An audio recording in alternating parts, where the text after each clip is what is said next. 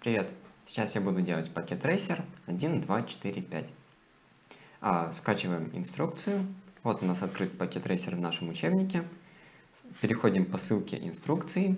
Здесь нажимаем кнопку «Скачать».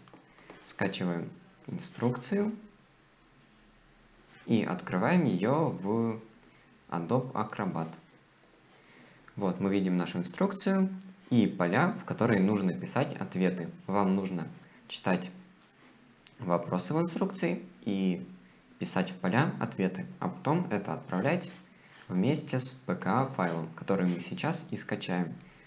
А PKA-файл мы открываем в нашем пакет трейсере, который должен быть заранее установлен. Сейчас оно откроется, там будет наше задание.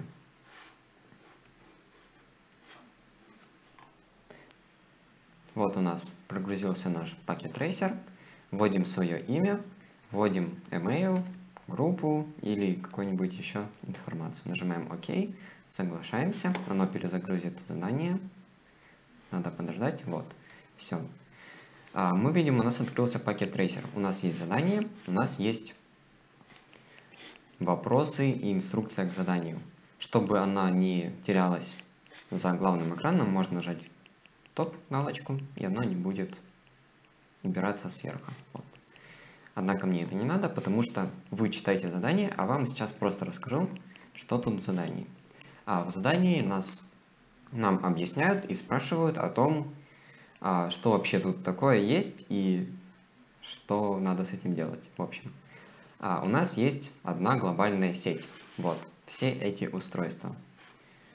А, одна топология.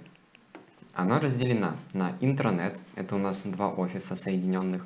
Мы можем в физическом этом посмотреть, что это действительно два офиса. Вот, раз офис, два офис, и вот они, раз офис, два офис. А, и также еще домашний офис, но он не соединен а, вместе с ними, соединен через глобальную сеть. Вот. А, здесь мы видим два локальных, две локальных топологии. А, вот. Здесь у нас устройства, конечные устройства, а, устройства конечные, потому что дальше не от, от них никуда не идет соединение. Вот у нас неконечное устройство, коммутатор, к которому подключены конечные устройства.